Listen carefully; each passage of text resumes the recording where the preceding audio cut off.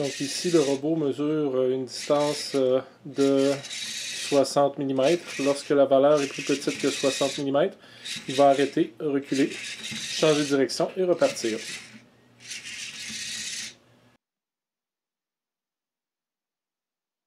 Bonjour, dans cette vidéo, on va regarder euh, comment on utilise le capteur de distance pour justement faire que notre robot va éviter des, des obstacles puis changer de direction. Donc, euh, première des choses, au niveau du capteur euh, de distance, euh, il y a certaines limites. Il va avoir le plus de précision entre 5 cm à 45 cm et sa portée maximale est de 1 mètre. Donc, il y a une marge d'erreur à l'intérieur de ces mesures-là au niveau du capteur.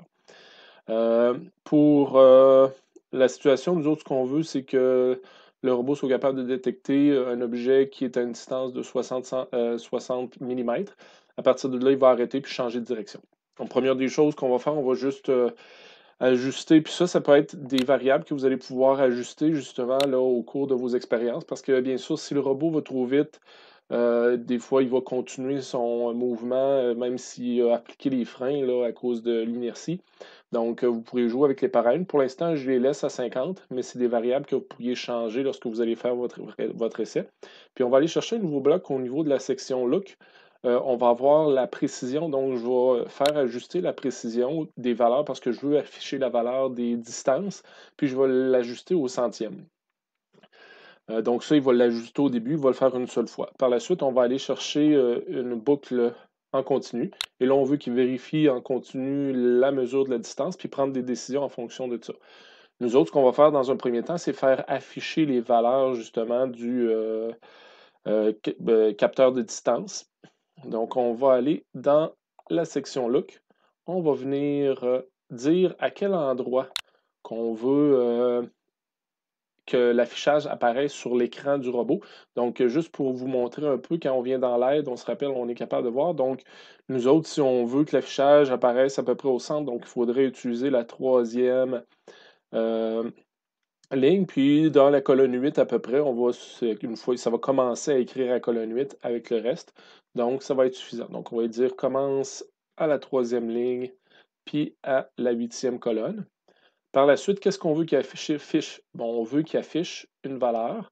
Puis cette valeur-là, c'est la valeur qui va être prise par le capteur de distance. Donc, on va lui demander de euh, imprimer, donc afficher la distance mesurée en millimètres. Puis nous autres, ben, on veut avoir une unité de mesure. Donc, ce qu'on va faire, on va venir euh, chercher encore une fois dans Look. On va venir prendre un autre print. Puis là, ce qu'il va faire, c'est qu'il va continuer à la suite de cet affichage-là, il va continuer d'écrire. Donc, nous autres, on veut un espace millimètre. Donc, il va avoir l'affichage de la distance, la valeur numérique, un espace, et ensuite de ça, la valeur en millimètres.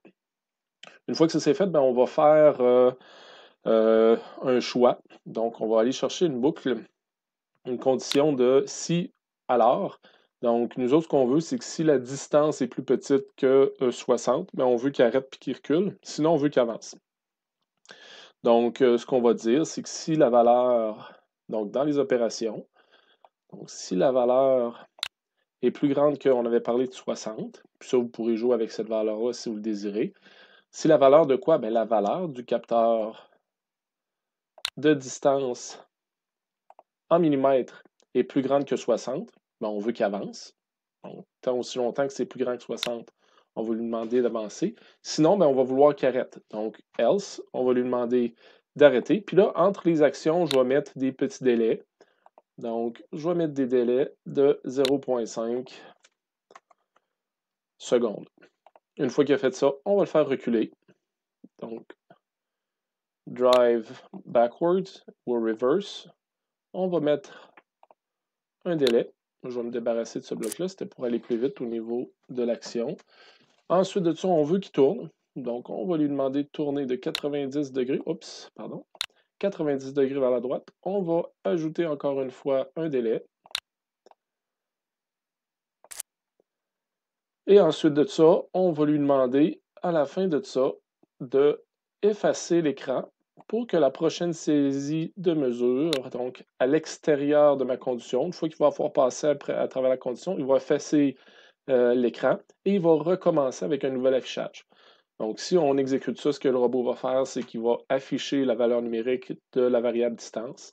Si elle est plus petite que 60 mm, il va avancer. Euh, si elle est plus grande, pardon, il va avancer. Sinon, ben, il va arrêter et il va faire reculer, tourner de 90 degrés. Et après ça, il va repartir vers l'avant s'il y a une distance qui est plus petite, euh, plus grande que 60 mm.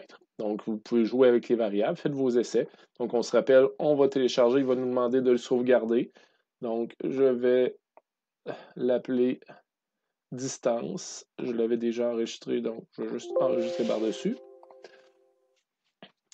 Et on sait que présentement, le programme va être dans euh, l'espace numéro 1 sur mon robot. Donc, faites vos tests, puis amusez-vous bien.